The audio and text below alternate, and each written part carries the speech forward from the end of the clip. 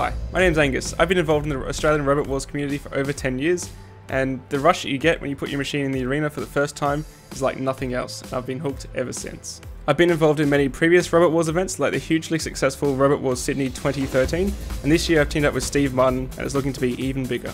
To make this sport possible, the machines fight in a fully enclosed arena made from steel and bulletproof glass. Luckily we don't need to build one, however we do need to ship it down from Queensland. To do it, we need your help. In return, we've got some awesome rewards like VIP seating right next to the arena near the builders, an awesome t-shirt, and even a Robowars starter kit so you can get your machine going and kickstart your entry for the competition. Want to compete but don't know where to start? No worries, we actually made a complete starter guide on YouTube for getting your very first machine together, and during the course of this campaign, we'll be making many more tutorials and guides. There's no better way to get kids excited about electronics, mechanics, and engineering than combat robots. It's a real blast to compete and lots of fun to build a machine. Robowars Sydney 2015 will be host to 13.6 kilo featherweight sportsman class combat robots. To read up more about this class, you can look below. So get involved and pledge your support for Robowars Sydney 2015. I'll see you in the arena.